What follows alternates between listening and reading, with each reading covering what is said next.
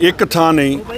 ਜੇ ਕੇ ਦੇ ਲੈ ਲਈਏ, ਜੇ ਉਸ ਵੇਲੇ ਸਾਰੀਆਂ ਆਪੋਜੀਸ਼ਨ ਪਾਰਟੀਆਂ ਇਕੱਠੀਆਂ ਹੁੰਦੀਆਂ ਤੇ ਕੇ ਚ ਵੀ ਜਿਹੜੀ ਸੀ ਫੈਡਰਲ ਸਟਰਕਚਰ ਜਿਹੜਾ, ਉਹਨੂੰ ਖਤਮ ਨਾ ਹੋਣ ਦਿੰਦੇ ਤੇ ਮੇਰੇ ਖਿਆਲ ਇੱਥੋਂ ਤੱਕ ਨੌਬਤ ਨਾ ਆਉਂਦੀ ਚੰਡੀਗੜ੍ਹ ਜਿਹੜਾ ਇੱਕ ਪੰਜਾਬ ਲਈ ਕੈਪੀਟਲ ਬਣੀ ਸੀ ਚੰਡੀਗੜ੍ਹ, ਔਰ ਪੰਜਾਬ ਦੇ ਹੀ ਪਿੰਡਾਂ ਦਾ ਉਜਾੜਾ ਕਰਕੇ ਇਹ ਸ਼ਹਿਰ ਵਸਾਇਆ ਗਿਆ। ਤੇ ਅੱਜ ਉੱਥੇ 60 40 ਦੀ ਜਿਹੜੀ ਰੇਸ਼ੋ ਹਮੇਸ਼ਾ ਚੱਲਦੀ ਰਹੀ ਆ, ਉਹਦੇ 'ਚ ਬੜੀ ਦੇਰ ਤੋਂ ਡਾਕਾ ਵੱਜ ਰਿਹਾ ਸੀ। ਉਹਦੇ 'ਚ ਪਹਿਲਾਂ ਵੀ ਇੱਕ ਦੋ ਵਾਰੀ ਜਦੋਂ ਇਹ 2002 ਚ 2002 ਚ ਵੀ ਤੇ ਕਾਂਗਰਸ ਦੀ ਗਵਰਨਮੈਂਟ ਚ ਉਸ ਵੇਲੇ ਵੀ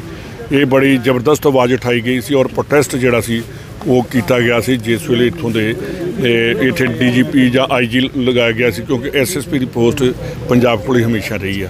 ਜਿਸ ਵੇਲੇ ਇੱਥੋਂ ਦਾ ਚੀਫ ਐਡਮਿਨਿਸਟ੍ਰੇਟਰ ਜਿਹੜਾ ਗਵਰਨਰ ਪੰਜਾਬ ਨੂੰ ਲਾਇਆ ਗਿਆ ਔਰ ਉਹਦੇ ਬਾਅਦ ਜਿਹੜਾ ਉਹਨੂੰ ਕਰਨਾ ਪਾਵਰਾਂ ਦੇਣੀਆਂ ਉੱਥੋਂ ਤੱਕ ਤੇ ਠੀਕ ਸੀ ਕਿਉਂਕਿ ਪੰਜਾਬ ਦੇ ਗਵਰਨਰ ਕੋਲ, ਪੰਜਾਬ ਦੇ ਕੋਲ ਹੀ ਇੱਥੋਂ ਦਾ ਕੰਟਰੋਲ ਸੀ।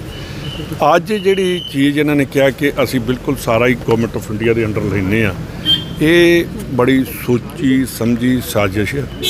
ਔਰ ਇਹ ਜਿਹੜੇ ਕੰਟਰੀ ਆ ਇਹਨੂੰ ਫੈਡਰਲ ਸਿਸਟਮ ਨੂੰ ਖਤਮ ਕਰਨ ਵਾਲੇ ਬੀਜੇਪੀ ਦੀ ਜਿਹੜੀ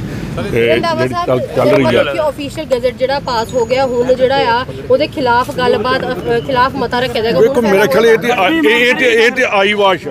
ਕਿ ਜਿਹੜੇ ਜਿਹੜਾ ਕਿਸਾਨ ਜਿਹੜੇ ਕਿਸਾਨ ਜਦੋਂ ਉਹ- ਉਹਨਾਂ ਦਾ ਆਇਆ ਸੀ ਅਸੀਂ ਦੋ ਵਾਰੀ ਬਣਾ ਕੇ ਭੇਜਿਆ। ਉਹਨਾਂ ਮੰਨੇ ਨਹੀਂ ਔਰ ਉਹਨਾਂ ਨੇ ਆਪਣੀ ਗੱਲ ਕੀਤੀ। ਇਸ ਕਰਕੇ ਜਿਹੜੀ ਡਿਕਟੇਟਰਸ਼ਿਪ ਵਾਲ ਜਿਹੜੀ ਜਾ ਰਹੀ ਹੈ ਡੈਮੋਕ੍ਰੇਸੀ ਇਹਦਾ ਸਾਰੇ ਕੱਲੇ ਪੋਲੀਟੀਕਲ ਪਾਰਟੀਆਂ ਦਾ ਨਹੀਂ। ਇਹ ਆਮ ਪਬਲਿਕ ਨੂੰ ਇਹਦੇ ਲਈ ਚੱਲਣਾ ਪਏਗਾ ਔਰ ਪਾਰਟੀ ਬਾਜੀ ਤੋਂ ਉੱਪਰ ਉੱਠ ਕੇ ਚੱਲਣਾ ਪਏਗਾ। ਕੈਪਟਨ ਅਮਰਿੰਦਰ ਸਿੰਘ ਜੀ ਨੇ ਕੀ ਇਹ ਫੈਸਲਾ ਠੀਕ ਹੈ? ਕੈਪਟਨ ਅਮਰਿੰਦਰ ਸਿੰਘ ਵੇਖੋ ਜਿਹੜੇ ਰਾਜੇ ਮਹਾਰਾਜੇ ਹੁੰਦੇ ਆ ਉਹ ਹਮੇਸ਼ਾ ਗਵਰਨਮੈਂਟਾਂ ਦੇ ਟਾਊਟ ਹੁੰਦੇ ਨੇ। ਔਰ ਜੇ ਇਹੀ ਚੀਜ਼ ਹੁੰਦੀ ਤੇ ਅੱਜ ਪਟਿਆਲੇ ਦਾ ਰਾਜ ਘਰਾਣਾ ਜਿਹੜਾ ਸੀ ਜੇ ਕਿਤੇ ਉਸ ਵੇਲੇ ਮਹਾਰਾਜਾ ਰਣਜੀਤ ਸਿੰਘ ਨਾਲ ਜਾਂ ਆਜ਼ਾਦੀ ਵੇਲੇ ਮਿਲ ਜਾਂਦੇ ਤੇ ਆ ਹਾਲਾਤ ਨਾ ਪੈਦਾ ਹੁੰਦੇ। ਅੱਜ ਕੋਈ ਪੰਜਾਬ ਦੀ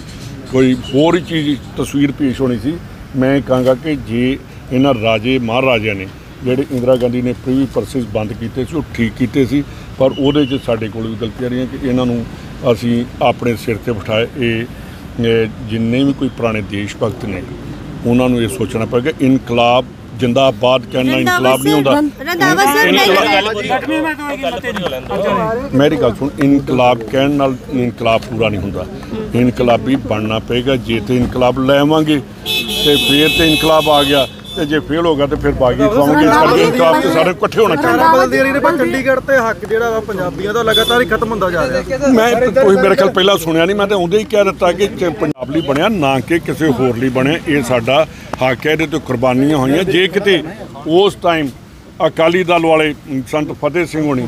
ਤੇ ਜਾਂ ਬਾਕੀ ਜਿਹੜੇ ਲੀਡਰ ਵੱਡੇ ਸੀ ਸੰਤ ਚੰਨਣ ਸਿੰਘ ਜਾਂ ਪ੍ਰਕਾਸ਼ ਸਿੰਘ ਬਾਦਲ ਉਸ ਟਾਈਮ ਦੇ ਜੇ ਅਖਬਾਰਾਂ ਕੱਢੋ ਜਦੋਂ ਪੰਜਾਬੀ ਸੂਬੇ ਦਾ ਅਨਾਉਂਸ ਹੋਇਆ ਸੀ ਜੇ ਕਿਤੇ ਪਾਰਟੀਆਂ 'ਚ ਨਾ ਬੈਠਦੇ ਕਿ ਜਾਂ ਜਸ਼ਨ ਨਾ ਮਨਾਉਂਦੇ ਤੇ ਅੱਜ ਚੰਡੀਗੜ੍ਹ ਦੇ ਹਾਲਾ- ਆਹ ਹਾਲਾਤ ਸਾਨੂੰ ਦੇਖਣੇ ਨਹੀਂ ਸੀ ਪੈਣੇ। ਰੰਧਾਵਾ ਬਲਦੇਵ ਸਿੰਘ ਵਰਕਰਾਂ ਦੀ ਮੀਟਿੰਗ ਹੋਈ ਹੈ ਜੀ ਉਹਨਾਂ ਨੇ ਸ਼ਰੇਆਮ ਇਲਜ਼ਾਮ ਲਾਏ ਆ ਵੀ ਸਾਡੇ ਵਜ਼ੀਰਾਂ ਦੇ ਸਾਰੇ ਜਿਹੜੇ ਸੀਗੇ ਮਾਫੀਆ ਕਰ ਰਹੇ ਸੀਗੇ ਮਾਫੀਆ ਰਾਜ ਸ਼ਰੇਆਮ ਚੱਲਦਾ ਸੀ ਸਰਕਾਰ ਕਿ ਲੀਡਰਾਂ ਦੀ ਨਾਕਾਮੀ ਕਰਕੇ ਹੀ ਜਿਹੜਾ ਕਾਂਗਰਸ ਨੂੰ ਹਾਰ ਦਾ ਨਾਲੇ ਤੁਹਾਡੇ ਵਰਕਰਾਂ ਦੀ meeting ਹੋਈ ਹੈ। ਕਾਂਗਰਸ ਭਵਨ ਮੀਟਿੰਗ ਹੋਈ ਹੈ ਕਹਿੰਦੇ ਸ਼ਰੇਆਮ ਅਸੀਂ ਮੈਨੂੰ ਉਹਦੇ ਬਾਰੇ ਨਹੀਂ ਪਤਾ ਉਹਨਾਂ ਵਰਕਰਾਂ ਬਾਰੇ ਜਾਂ ਉਹਨਾਂ ਨੂੰ ਪਤਾ ਹੈਗਾ ਉਹ ਮੇਰੇ ਤੋਂ ਬਿਹਤਰ ਦੱਸ ਲਾਲ ਜੇ ਇਹ ਵੀ